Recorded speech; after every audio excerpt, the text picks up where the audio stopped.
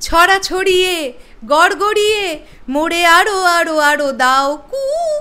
নমস্কার বন্ধুরা, আমি পৌশালী, চলে এলাম আরও একটা নতুন ভিডিও নিয়ে। আমি জানি তোমরা এই ইন্ট্রোডাকশনটা দেখে অনেকেই ঘাবড়ে গেছো যে আমার কি মাথা পাতা খারাপ হয়ে গেল নাকি? অ্যাকচুয়ালি আমি প্রচণ্ড আনন্দ পেয়েছি। কেন জানো? কারণ Gora is back Gora two এর ট্রেলার চলে এসছে। হইচইতে জাস্ট কিছুক্ষণ আগে ড্রপ করা হয়েছে।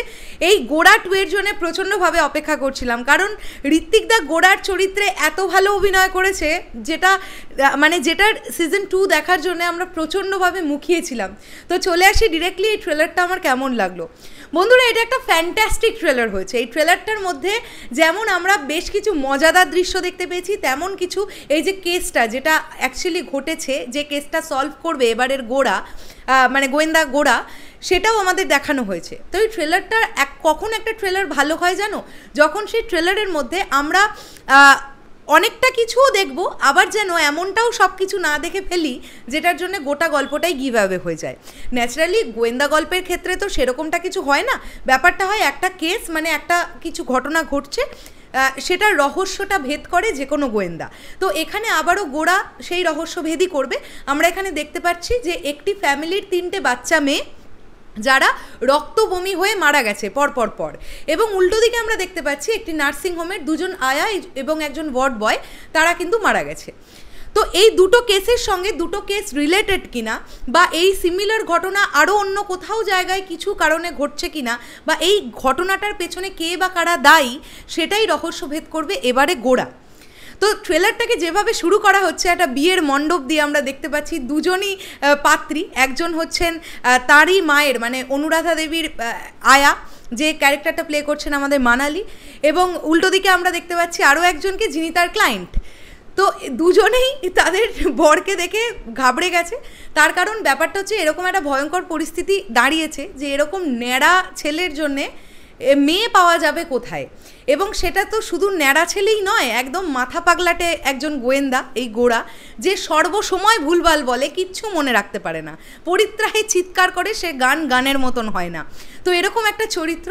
তো আমার জাস্ট ফ্যান্টাস্টিক লেগেছে ট্রেলারটা এবং দেখবে যেখানে পুরনো ঘটনাগুলো দেখানো হচ্ছে। মানে ধরো যখন বলা হচ্ছে যে রক্ত বই করে মেয়েটা মারা গেছে, সেই সময় যখন বলা হচ্ছে যে, এরকম না, এরকম এই পরিবারের আরও দুজনও এর আগে আরও দুটো বাচ্চা মেয়েও মারা গেছে, সেই সময় ব্ল্যাক অ্যান্ড হোয়াইটে যেভাবে তাদের খেলনা, ওই ঘোড়ার গাড়ি, ওইগুলো যেভাবে দেখানো হচ্ছে, সেগুলো প্রচণ্ড ভালো লেগেছে দেখতে।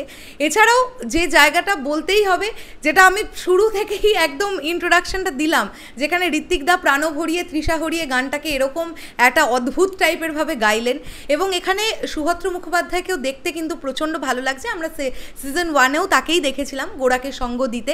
তো এবারে কিন্তু এই সিরিজটাতে আমাদের রহস্য উদ্ঘাটন যেমন করবে গোড়া ঠিক তেমনই তার বিয়ে কীভাবে হচ্ছে বা বিয়ে কি আদবেও হবে, বিয়ে হওয়ার আগে, পরে মানে আগে কি ব্যাপার, কি বিষয়বস্তুগুলো ঘটবে, সেই সমস্ত ব্যাপারগুলো আমাদেরকে দেখাবে। এবং এই সিরিজটা খুব মজাদার এবং খুব সিরিয়াস একটা সিরিজ হবে বলে আমার মনে হয়। জয়দীপ মুখার্জি প্রচণ্ড ভালো একজন ডিরেক্টর এটা নিয়ে কোনো কথাই হবে না। আমি গোড়া টু এর জন্য প্রচণ্ডভাবে ওয়েট করছি এবং উষসীর সেই জায়গাটা খুব ভালো লেগেছে, যে জায়গাটাতে ও অ্যাকচুয়ালি কেসটা নিয়ে এসেছে গোড়ার কাছে এবং সেখানে গোড়া বলতে গিয়ে ন্যাড়াবাবু বলে ফেলেছে ভুল করে। সেই জায়গাটা ভীষণই ভালো লাগছে এবং তারপরে যখন গোড়া বলছে, বেরো বাড়ি থেকে কেস নেওয়া হবে না। তো সেই জায়গাগুলো খুব সুন্দর লেগেছে বিজিএমের কাজও জাস্ট ফ্যান্টাস্টিক লেগেছে ট্রেলার কাটিংও খুব ভালো লেগেছে। আমার সব মিলিয়ে গোড়া টু আমার কাছে প্রচণ্ড অ্যান্টিসিপেটেড একটা প্রজেক্ট হিসেবে ছিল। ফাইনালি সেটা তিরিশে জুন আসছে এবং আমি হইচইতে যখনই আসবে আমি তখনই দেখব এবং ঋত্বিকদার আবারও একটা অনবদ্য অভিনয় দেখার জন্য আমি কিন্তু ওয়েট করছি।